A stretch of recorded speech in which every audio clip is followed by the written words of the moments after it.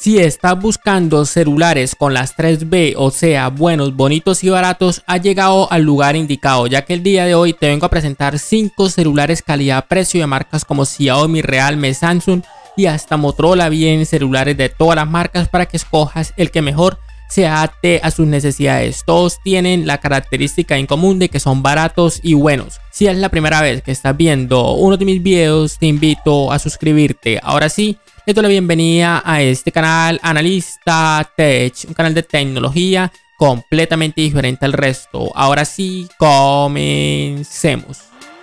Y sin tanto relleno, vamos de una vez por el puesto número uno en donde nos encontramos a un celular de la marca Realme, específicamente el Realme C35 que se sitúa como uno de los más baratos con un precio alrededor de los 160 dólares el cual es un equipo que tiene una pantalla de 6,6 pulgadas con resolución Full HD Plus, pantalla IPS LCD que apenas se queda en los 60 Hz. El procesador es un procesador de Uniso, específicamente el T616 que no recomiendo mucho estos procesadores pero en este equipo da buenos resultados. En el almacenamiento interno vamos a encontrarnos dos versiones 64 o 128, te recomiendo la versión de 128 que viene acompañado con 4 GB de memoria RAM. A pesar de ser un celular económico, sus cámaras traseras dan resultados aceptables con un sensor trasero principal de 50 megapíxeles y un sensor para la cámara delantera de 8 megapíxeles. El punto más favorable que le encuentro al Realme C35 es su batería de 5000 mAh con una carga rápida de 18 vatios. Además tiene lector de huellas en el apartado lateral y tiene USB tipo C.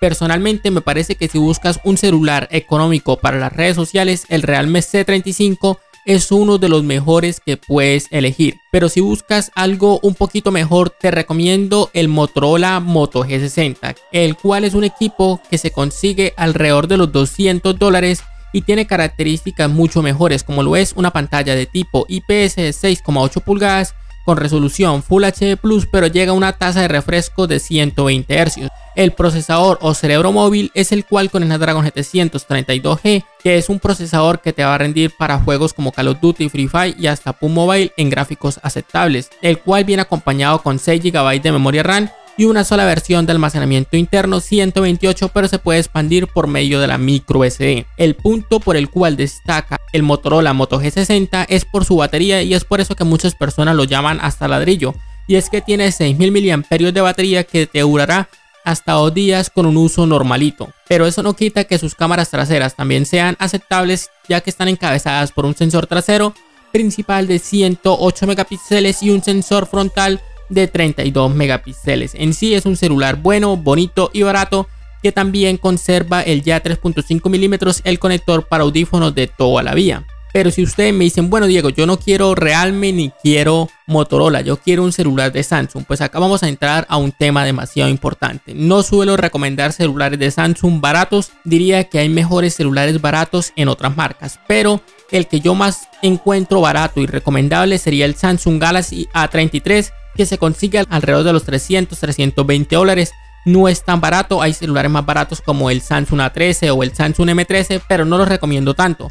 Por eso quiero hacer énfasis en el Samsung Galaxy A33, ya que su pantalla es Super AMOLED de 6,4 pulgadas con resolución Full HD Plus que llega a una tasa de refresco hasta los 90 Hz.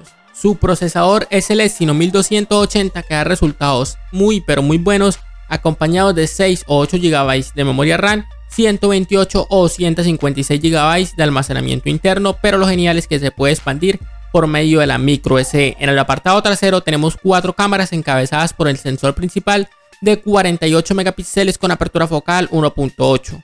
El sensor frontal es de 13 megapíxeles con apertura focal 2.2. Un punto genial es que su batería es de 5000 mAh y una carga rápida de 25 vatios que pues ahí nos damos de cuenta que Samsung no quiere aumentar la carga rápida en ningún celular. Otro punto genial que yo le haría a este y por el cual es más caro es porque tiene certificación IP67 y el sensor de huellas es bajo pantalla, que es un punto que lo hace sentir como si fuera un celular gama alta, aunque no lo sea. Pero si tú me dices, bueno Diego, yo quiero ahora un Xiaomi, ¿cuál Xiaomi me recomiendas?